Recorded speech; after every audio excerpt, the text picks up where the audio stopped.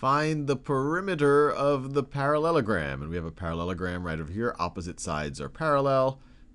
That side is parallel to that side right over here. This side is parallel to that side over here. And also in a parallelogram, opposite sides have the same length.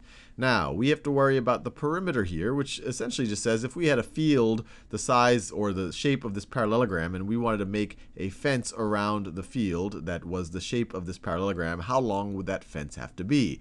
And it obviously would be the lengths, uh, the sum of the lengths of the sides.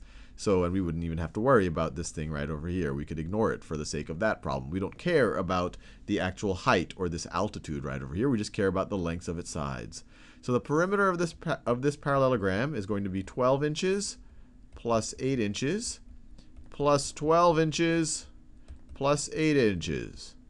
12 inches plus 8 inches plus 12 inches plus 8 inches. 12 plus 8 is 20. 12 plus 8 is 20. So this is all going to add up to 40, 40 inches. And we're done.